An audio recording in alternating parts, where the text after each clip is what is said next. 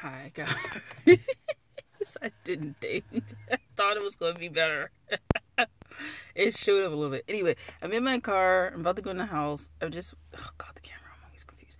I just wanted to say there's going to be right now no monthlies for the end of the, the rest of the year.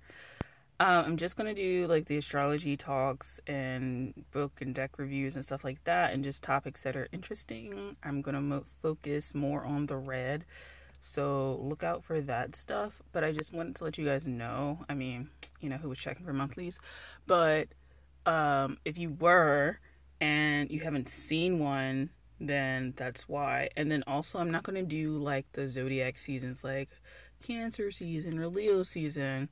Again, you may have noticed that Virgo season didn't go up, and it's just kind of burned out and tired of making that.